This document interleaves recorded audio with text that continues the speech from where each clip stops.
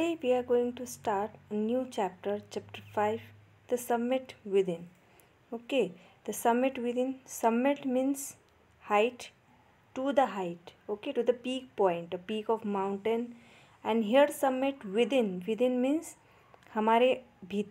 अंदर तो the summit with in यानी when we reach to the height in our self हम हमारे दिल की ऊंचाइयों को जब छूते हैं so that is called as the summit within so today we are going to discuss on this topic the summit within so before starting the chapter let me introduce you to the person named major hps aluwalia okay he was the person to reach the mount everest in 1965 जब पहला अभियान चला था Indian expedition Mount Everest पर तो he was the member of that in 1965 and he is giving his experience in this chapter that how one feel when he reaches to the height not only to the mountains okay but also to within ना सिर्फ़ पर्वतों की ऊंचाइयों पर छूना बल्कि हम अपने आप को इंटरनली भी बहुत ऊंचाई पर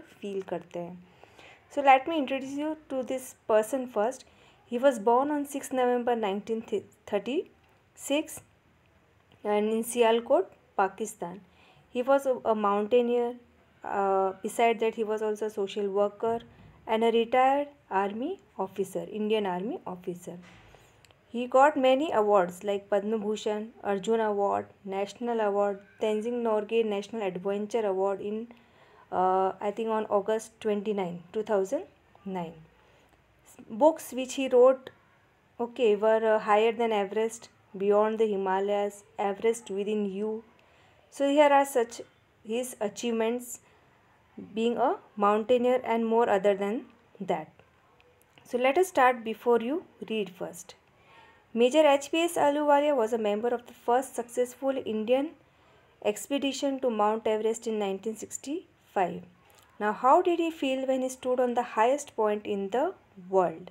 Mount Everest is the highest peak of the world okay, and here we are going to read that how one feels when it reached to the highest point. अगर हम पर्वत की सबसे ऊँची चोटी पर पहुँचते हैं, तब हमारी क्या फीलिंग्स होती है, क्या एक्सपीरियंस होता है? So this thing this person had describe in this narration in this chapter okay so climbing the summit and most difficult task of climbing is the summit with in तो ना सिर्फ़ पर्वतों की ऊंचाइयों को छूना, बल्कि हम इंटरनली मेंटली हमारी सोच से भी ऊँचे होने चाहिए। ठीक है, अगर हमारी सोच अच्छी नहीं है तो आप फिज़िकली कितनी भी ऊंचाई छू लो। इट डजेंट मैटर्स कोई मतलब नहीं it's all in vain so let start the chapter of all the emotions which search through me as a stood on the summit of Everest Looking over miles of panorama below us, the dominant one, I think, was humility. Of all the emotions which surged, surged here means uh, अचानक से हमारे mind में कुछ आना ठीक है तो of all the emotion which search which intensely came in his mind through me as a stood on the summit of Everest यानी जब मैं उस एवरेस्ट की ऊंचाई तक पहुँचा okay okay, looking over miles of panorama below us. Panorama means, panorama means a view of wide area जब हम किसी ऊंचाई पर पहुँचते हैं और वहाँ से देखते हैं तो पूरा नज़ारा, बहुत लंबा चौड़ा नज़ारा दिखता है। That is called as panorama view so he saying that all of of all the emotions we search through me as a stood on the summit of Everest looking over wild miles of panorama below us the dominant dominate means having power यानी किसी भी चीज़ का हमारे ऊपर क्या influence होता है, क्या इफ़ेक्ट होता है। तो मेरे ऊपर जो इफ़ेक्ट हुआ आई थिंक वॉज़ ह्यूमिलिटी मतलब हम्बलनेस यानी जब हम इतनी ऊंचाई पर पहुँचते हैं, तब हमारी फीलिंग्स हमारे इमोशंस बिल्कुल अलग चेंज हो जाते हैं। हम अपने आप को इतना हम्बल फील करते हैं, ठीक है पोलाइट हम्बल यानी सब दुनिया की जो सारी बुरी चीज़ें हैं, बुरी सोच है, हमारे माइंड से एक बार वॉश हो जाती है। The physical in me if the physical in me seem to say thank God it's all over here it means as a person उसने ये सोचा कि जब वो उस ऊंचाई पर पहुँचा तो ऐसे लग रहा था सब कुछ इट्स ओवर यानी इतनी ऊंचाई तक पहुँचने का जो सफ़र था thank God it's over however instead of being jubilant jubilant here means very happy जब हमको कुछ सक्सेस मिलता है किसी में तो हम कितने खुश होते हैं। That is called as jubilant there was a tinge of sadness यानी इतनी ऊंचाई पर पहुँचने के बाद जो खुशी थी, उसके अंदर हल्की सी एक उदासी मेरे मन में थी। टिंज मीन्स शेड हल्की सी उदासी मेरे मुझमें आई।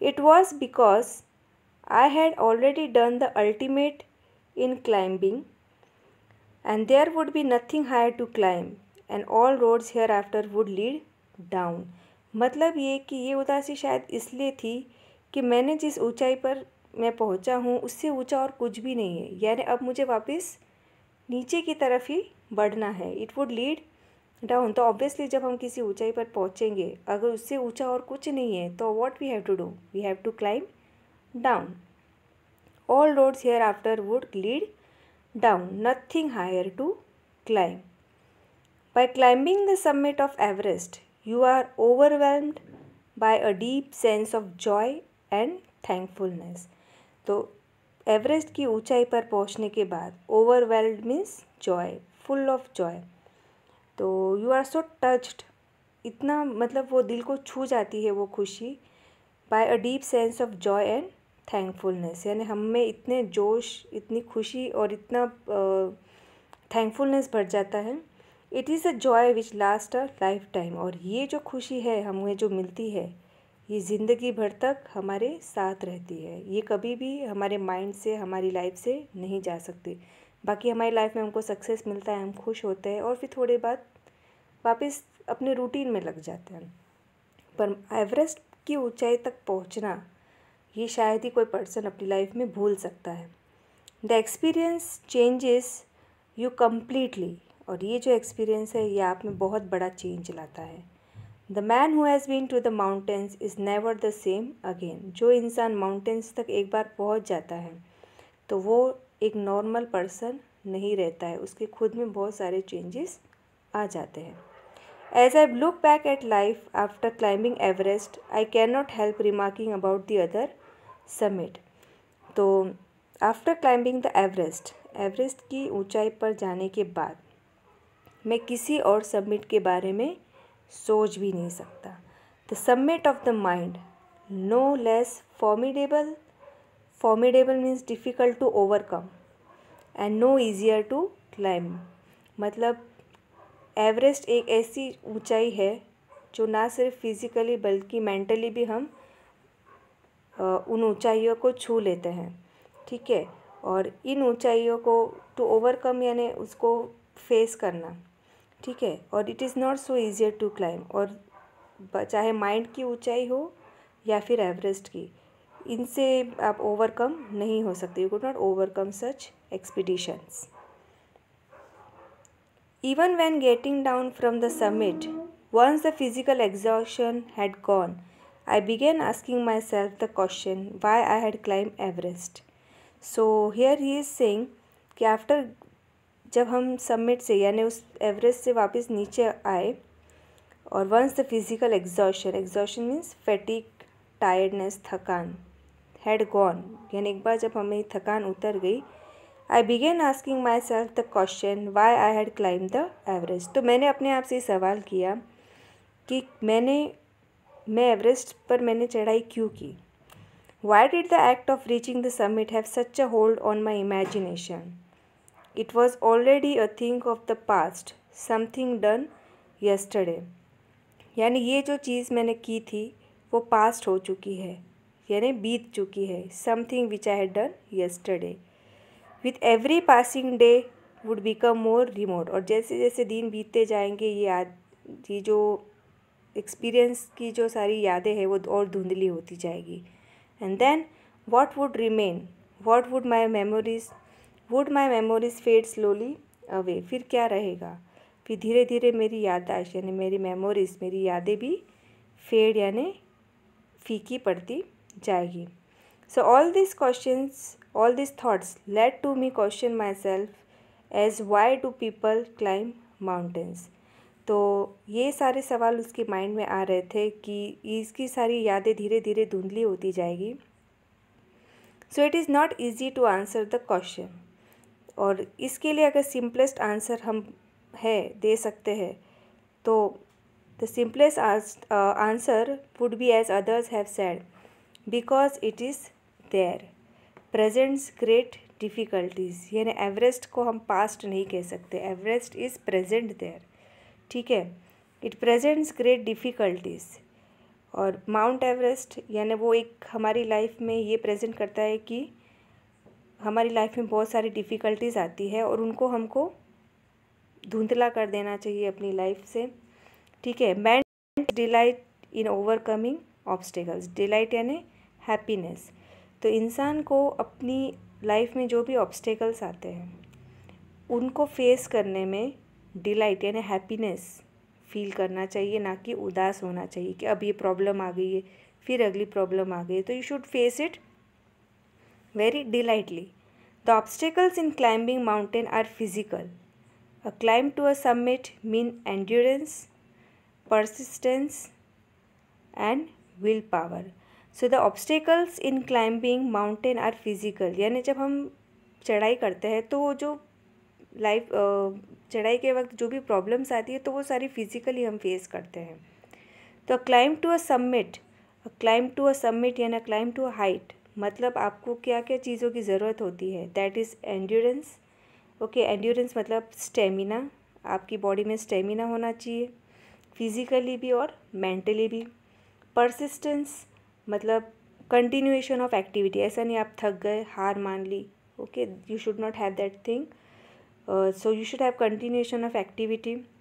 And the most important is will power सबसे मेन चीज़ है कि आप में डिटर्मिनेशन पक्का इरादा विल पावर आपकी स्ट्रॉन्ग होनी चाहिए। Then only you could face such big difficulties and obstacles while climbing towards the Everest तो सेम थिंग्स डिग्निफाइज यही चीज़ें सारी किसकी तरफ़ इशारा करती है कि हमारी लाइफ में ऐसी प्रॉब्लम्स आती है ऑब्स्टेकल्स आएँगे। तो you should have this three things and then you could face your obstacles in your life very easily the demonstration of this physical activities is no doubt exhilarating exhilarating means very exciting as it was for me also यानी इन चीज़ों को face करने में जो uh, मज़ा आता है ठीक है तो वो मज़ा मैंने फेस किया है। ठीक है no doubt exhilarating as it was for me also I have a more personal answer to the question उनका एक और क्वेश्चन के लिए एक और व्यू था। From my childhood I been attracted by mountains यानी बचपन से ही उनको माउंटेनियरिंग का शौक था। Had been miserable miserable lost when away from mountains in the plains यानी जब भी मैं माउंटेन्स पे गुम हो जाता था when away from mountains in the plains. Mountains are nature at its best तो बचपन से ही उनको इसका शौक़ रहा है। And they think mountains are nature at its best प्रकृति में अगर सबसे बेस्ट चीज़ हम देखें तो पहाड़ियाँ है। ठीक है? Their beauty and majesty pose a great challenge उनकी खूबसूरती, उनकी ऊंचाइयाँ, ये सब कुछ हमें अट्रैक्ट करती है। और एक चैलेंज लेने के लिए फोर्स करती है कि मैं ये माउंटेन, ये ऊंचाई चढ़ के बताऊँगा। And like many I believe that mountains are a means of communion with God तो उनका ये मानना था, ना सिर्फ़ उनका, ऐसे बहुत से लोगों का ये मानना है कि जब हम पहाड़ों पर, ऊंचाइयों पर जाते हैं तो वहाँ पर ऐसे लगता है, एक ऐसी फीलिंग आती है कि जैसे हम भगवान के काफ़ी करीब हैं। आपने देखा होगा पहले के ज़माने में साधु वगैरह ये सब लोग ऊँची ऊँची पहाड़ियों पर एकांत में जाकर तपस्या करते थे। क्यों? Because they feel one with God at that place वहाँ पर ऐसे सब कुछ, ऐसी फीलिंग आती है as if God itself is there okay so it gives us a feeling of God there so this thing we could see here okay so this is the part of the chapter and next part we will continue in our next video